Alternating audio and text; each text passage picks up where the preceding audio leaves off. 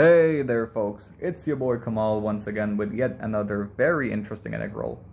We have the integral from 0 to 1 of log 1 minus x squared over 1 plus x squared dx. The result is really cool and this integral was actually inspired by a related integral shared by subscriber Ryan Davis. So thanks Ryan, the integral is pretty neat. The result is, like I said, extremely cool. And in fact, we'll derive another interesting result, which is actually an infinite series for one of our favorite special functions. So without further delay, let's begin. We'll start off with the logarithm function here, and by that I mean the series expansion for log 1 minus z, which is negative sum over k from 1 to infinity of z to the k over k, provided that the absolute value of z is less than 1 which is clearly satisfied for z equal to x squared on our interval of integration. So this implies that log 1 minus x squared equals negative sum over k from 1 to infinity of x to the 2k over k. Now making use of this series expansion, we have i equal to negative integral from 0 to 1, 1 over 1 plus x squared times the sum over k from 1 to infinity of x to the 2k over k dx. Now I'm going to switch up the order of the operators here and write this as negative sum over k of 1 over k times the integral from 0 to infinity of x to the 2k over 1 plus x squared dx. Okay, cool. And now for a nice little transformation where we let x squared equal t, or equivalently, we just let x here equal root t, which implies that dx equals 1 over 2 root t dt. And the limits of integration are clearly not bothered by our transformation, so i here is now negative integral, uh, negative sum over k, that is, of 1 over k times the integral from 0 to 1 of t to the k times Okay, we have a factor 1 half, that's outside, and we have t to the negative 1 half over 1 plus t dt. And we'll simplify this a bit to get negative 1 half times the sum over k from 1 to infinity of 1 over k times the integral from 0 to 1 of t to the k minus 1 half over 1 plus t dt. And now to make use of a really cool result we derived a while back, and that is the integral from 0 to 1 of t to the s minus 1 over 1 plus t dt equals the digamma function at s minus digamma s over 2 minus log 2. So in our case, we have s minus 1 equal to k minus 1 half, which implies that s here should be k plus 1 half. So that means i equals negative 1 half times the sum over k from 1 to infinity. Of 1 over k times we have digamma uh, s here being k plus 1 over 2 so we have k plus 1 over 2 here minus the digamma function at k over 2 plus 1 quarter. And I'm going to need a little bit more writing space. Minus log 2 which does look extremely cool. I mean, this is one awesome looking infinite series, but what on earth does it evaluate to? Well, that's easy. It evaluates out to the value of this integral. So now it's time to actually solve for the integral's value. One thing to notice about the target integral is that we have terms like 1 minus x squared or equivalently 1 minus x times 1 plus x, and of course the 1 plus x squared term. So when we have terms like that, and we're integrating from 0 to 1, a particular substitution can be very useful. And that particular substitution is the Weierstrass substitution, where we let x here equal 1 minus t over 1 plus t. So yes, this is one of the coolest transformations in existence, and wow, does it work. So let's differentiate to get the transformation for the differential element. We have dx here equal to 1 plus t times negative 1. Uh, give me a moment. much better. Minus 1 minus t times 1 divided by 1 plus t whole squared dt. Okay, cool. So we have some cancellations here, and yeah, the t's go away, and we're left with negative 2 dt over 1 plus t squared, and that's how dx works out in the t realm as far as the limits are concerned as x approaches 0. Now, this function over here, that is f of x equal to y equal to 1 minus x over 1 plus x, you can verify quite easily that this is a self-inverse function.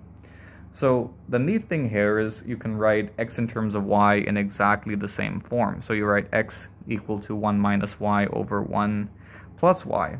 So by that token, we do have t here equal to 1 minus x over 1 plus x, so as x approaches 0, we have t approaching 1, and as x approaches 1, we have t approaching 0. Okay, cool. So this implies that i here equals the integral now from 1 to 0 of log 1 minus x squared. Oh wait, there's there's a bit more work to do, so let me just zoom out a bit. and now for 1 minus x squared that would be 1 minus 1 minus t terribly sorry about that over 1 plus t squared this simplifies out to 1 plus t squared minus 1 minus t squared over 1 plus t whole thing squared so over here, you get rid of the 1 and the t squared terms, and you're left with 4t over 1 plus t squared. So that's 1 minus x squared. And I think you can see pretty easily that 1 plus x squared would evaluate out to. In that case, you lose the 2t terms. They cancel out because you have plus 2t and minus 2t, of course. So that sorts out to 2 times 1 plus t squared over 1 plus t whole thing squared. Okay, cool. So we have everything written out in front of us. So now we write i as the integral from 1 to 0 we also have this negative sign because of the differential element. And we have log 1 minus x squared, which sorts out to 4t over 1 plus t squared over 1 plus x squared, which is 1, uh, 2 times 1 plus t squared over 1 plus t whole thing squared. And we also have 2 over 1 plus t squared dt.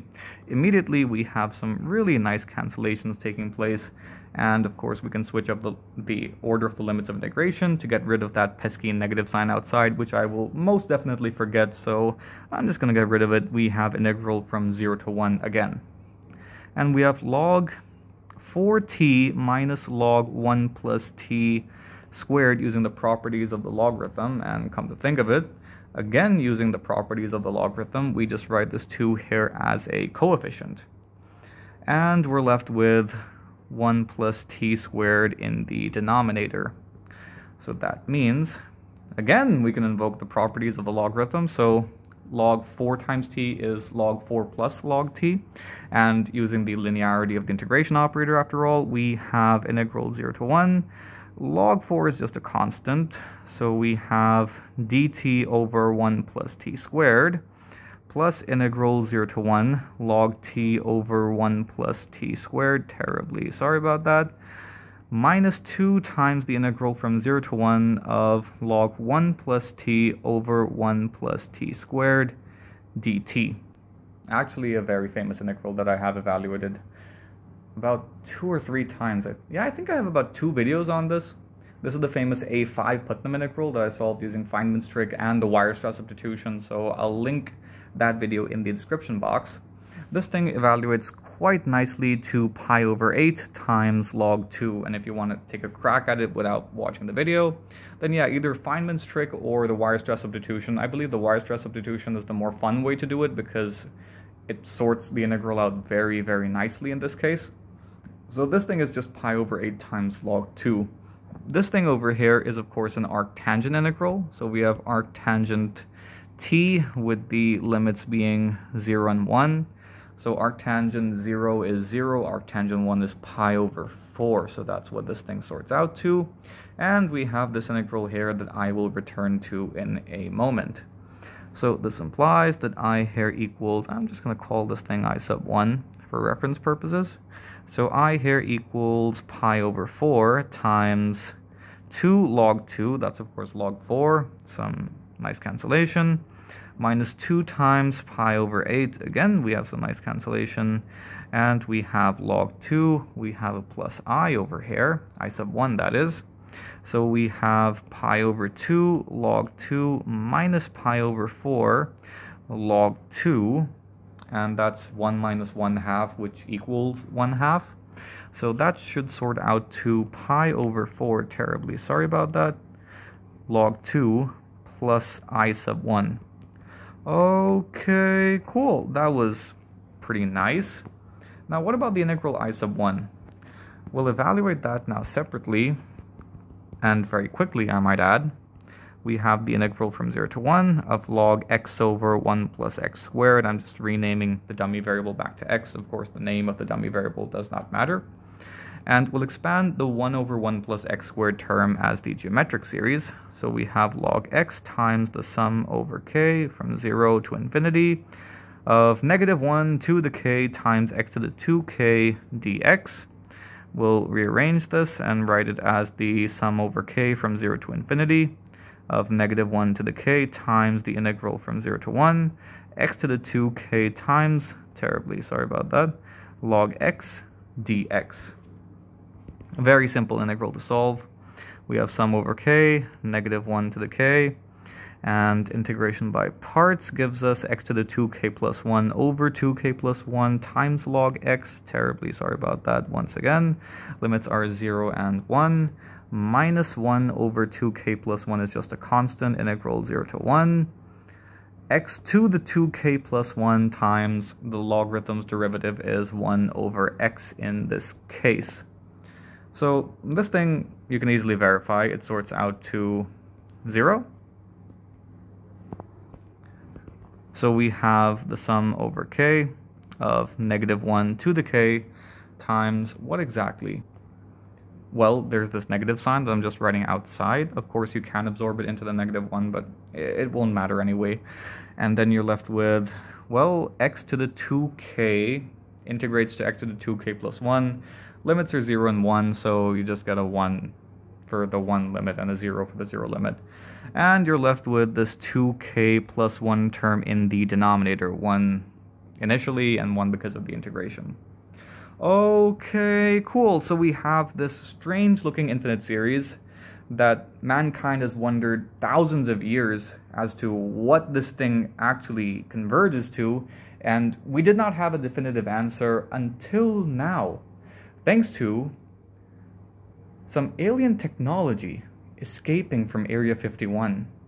We now know that this thing is actually the original top G, Catalan's constant, immortalized on your t-shirts, on your hoodies, and on, well, more merchandise to be added later. But the important thing is, we know what this thing sorts out to. This is Catalan's constant.